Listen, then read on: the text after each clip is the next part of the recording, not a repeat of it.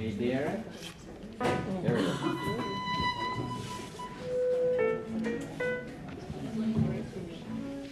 We go.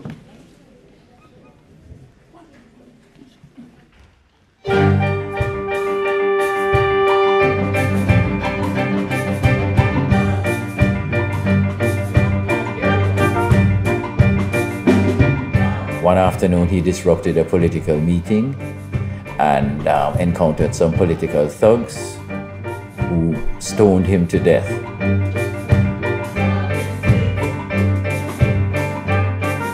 in a place where reggae music is a total, you know, strong power which has gone worldwide as a world music.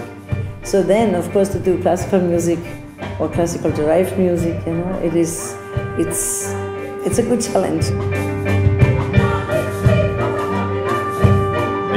Really very, very good because I think it's taking a unique element within our cultural sort of identity.